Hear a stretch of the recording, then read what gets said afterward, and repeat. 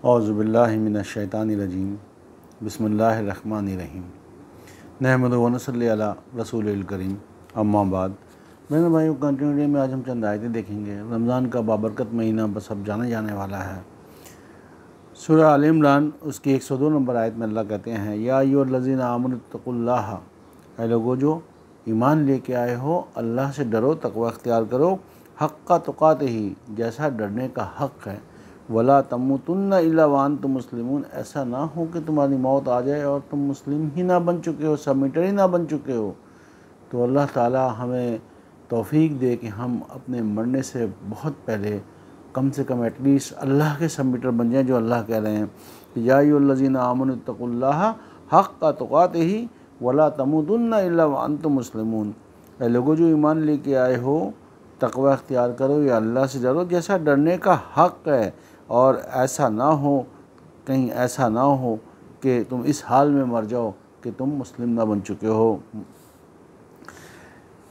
फिर इसी की वन ज़ीरो फ़ोर में अल्लाह ताला कहते हैं वल तकुम मिनकुम उम्मत यदून एल खैर व या मरून बिलमारूफ़ व या मरून बिलमारूफ़ वयन होना अनिल मुनकर उलाका हमलमफलहून और चाहिए कि तुम में से एक ग्रोह नेकी की तरफ़ दावत देने वाला हो और नेकी का हुक्म दे और बुराई से मना करे, वही लोग तो फला पाने वाले हैं।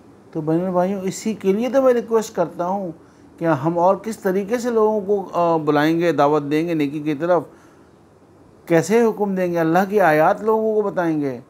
तो इसीलिए कहता हूँ कि आप लोग मैक्सिमम इसको चैनल को सब्सक्राइब करें बेल आइकन का दबाएँ बटन ताकि जब भी कोई वीडियो अपलोड होगी, आप लोगों को इतला मिल जाएगी। और वैसे मैंने बताया हुआ है कि हर वेनसडे के दिन और सैटरडे नाइट या संडे को जो है दूसरी वीडियो पाँच से सात, आठ मिनट की आती है मैक्सिमम तो अल्लाह कहते हैं वल तकुमिन को उम्मत यदून खैर व यामरून बिलमारूफ वयन होना अनिल मुनकर। उलाए का हमलमफलहून और चाहिए कि तुम में से एक ग्रोह नेकी की तरफ़ दावत देने वाला हो, नेकी का हुक्म दे और बुराई से मना करे और वही लोग तो फला पाने वाले हैं। फिर अगली आयत में अल्लाह कहते हैं, वला तकून कल्लजीना तफर्रको वख्तलफ़ मिम बाद मा मिम बाद मा और उन लोगों की तरह ना हो जाना जो फ़िरके फ़िरके हुए अपने पास वाज आयात आ जाने के बाद।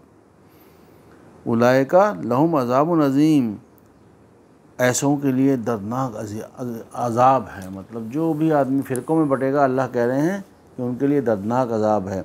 आयत में अल्लाह कहते हैं, यौम तबैज़ो वजूहूँ व तसवदो वजूह. और कुछ दिन उस दिन उस दिन कुछ चेहरे सफ़ेद होंगे और कुछ काले होंगे। फ़ामल लजीनस वद्दत वजूह बस जिनके मुँह काले होंगे, उनसे कहा जाएगा अकफ़र तुम बादा ईमानकुम? क्या तुम ईमान लाने के बाद फिर इनकार करने के ऊपर आ गए थे, जो हम में से अक्सर लोग करते हैं? कि हमें एक चीज़ पता है अल्लाह कह रहे हैं, लेकिन हम फिर भी उसके अगेंस्ट चल रहे होते हैं।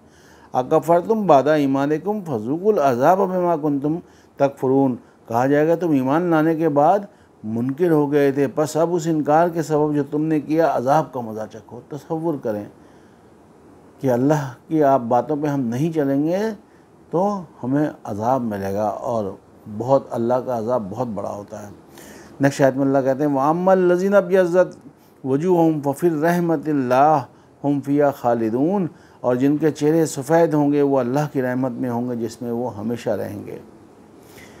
अब ज़ाहिर सी बात है, ये मेरी तरफ़ से कोई आयतें नहीं हैं, इसीलिए लोग परेशान ना हो। अगली आयत में अल्लाह कहते हैं तिल का आयातुल्लाह नतलूहा अलैका बिलहक़ और ये अल्लाह की आयत है जिन्हें हम तुझ पर हक़ के साथ तलावत करते हैं। वमल्ला युरीद आलमीन, और अल्लाह तो जहानों पर जुल्म करना नहीं चाहता। नेक्स्ट आयत में अल्लाह कहते हैं, वलिल्लाह माफ़ी समावात है मा फिलर्द वल्ला तुरजमूर और जो कुछ भी आसमानों और ज़मीन में है, अल्लाह ही का है। और तमाम उमूर अल्लाह की जानब में लौटाए जाएँगे। तो बन भाई अल्लाह ताला हमें तौफीक दे कि इस वैसे तो हमें पूरा साल ही अल्लाह की रहमत और अपने आप को करट करना है, लेकिन रमज़ान का महीना वो है जिसमें अल्लाह ने कुरान नाजिल किया है।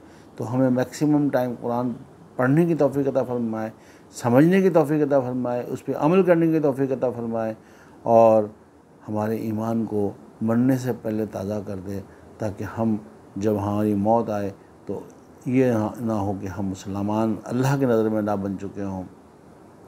अल्लाह ताला हमें अमल की तोफ़ी अता फरमाए। रब्बना तक़ब्बल मिन्ना इन्नका अंतस समीउल अलीम व तूब अलैना इन्नका अंतत तव्वाबुर रहीम। व आखिर दावाना अनिल हम्दुलिल्लाहि रब्बिल आलमीन।